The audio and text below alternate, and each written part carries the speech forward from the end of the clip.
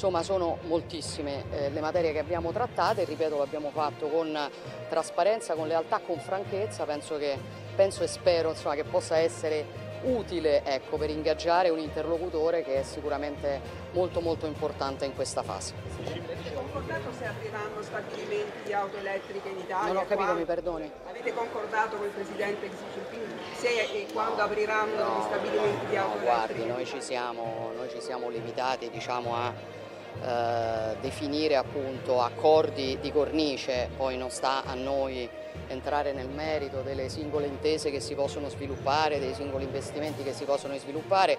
Sicuramente il tema della mobilità elettrica è uno dei temi inseriti all'interno del nostro eh, memorandum di collaborazione industriale che è una de delle intese più importanti che abbiamo eh, che abbiamo sottoscritto riguarda molte materie eh, importanti, appunto mobilità elettrica, cantieristica navale, eh, ci sono le materie legate generalmente alla transizione energetica, poi però ovviamente saranno i tavoli tecnici e i ministri competenti a lavorare nello specifico sulle, eh, sulla realizzazione di queste intese. Diceva dell'Ucraina, non è questo impegno sostanziale sul rispetto internazionale, da Xi Jinping sono arrivate delle risposte più sostanziali.